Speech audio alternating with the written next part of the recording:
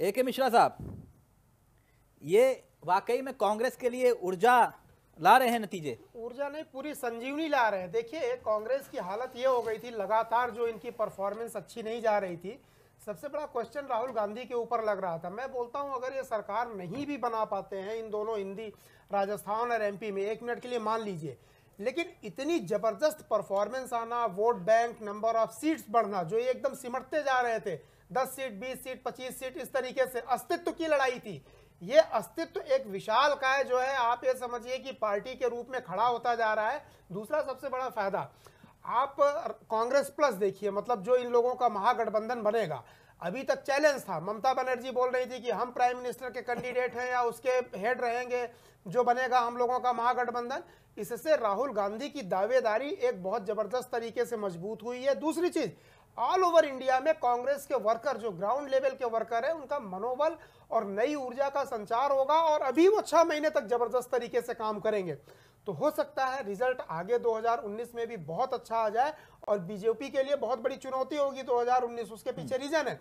जितने मुद्दे थे राम रहीम ये वो मंदिर मस्जिद पेट्रोल इकोनॉमी विश्व गुरु सारे मुद्दे तो इन्होंने यूज़ कर लिए योगी भी कर लिए मोदी भी कर लिया।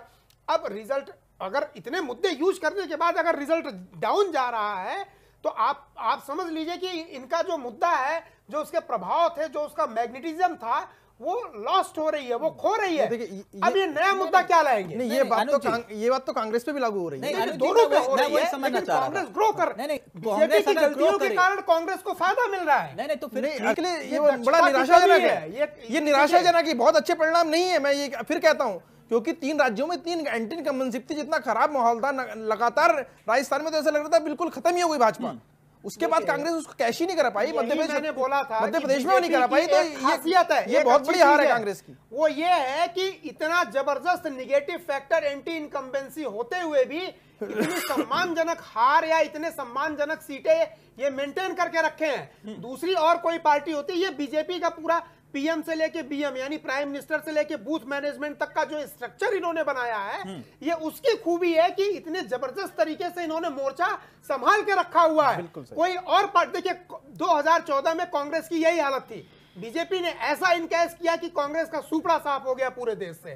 तो डेफिनेटली बीजेपी के अंदर कुछ इन्होंने अपने आप को बड़ा इंप्रूव किया है जो मैनेजमेंट होता है एक पॉलिटिकल पार्टी का पूरा इन्होंने बदल करके रख दिया है मोदी और अमित शाह के नेतृत्व में। उसी के कारण ये इतना टिके हुए हैं राजस्थान और एमपी में और अभी भी उनको होप है कि शायद हम सरकार बना ले। नहीं तो ये साफ़ हो गए होते। मुकेश कांग्रेस नहीं कर पाती।